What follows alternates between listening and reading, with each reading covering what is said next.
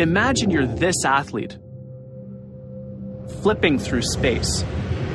You can't trust your eyes. All you can do is feel. Hi, I'm Dr. Greg Wells. From no hand cartwheels to no look backflips, gymnasts on the balance beam seem like they're spinning off into the void. But then, somehow, they manage to land on a narrow beam just 10 centimeters wide. So, how do they possibly pull it off? They rely on what's called proprioception.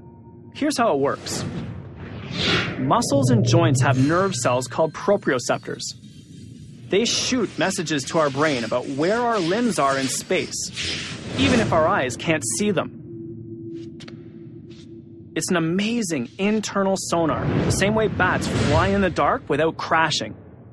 But they also need what's called hyperextension. Spines have 33 bones, or vertebrae, protecting the spinal cord. They're separated by discs that act like shock absorbers. Normal backs have 20 to 35 degrees of hyperextension, but gymnasts have at least twice that range. There's a downside to hyperextension. It happens when a vertebrae slips out of place in the spine.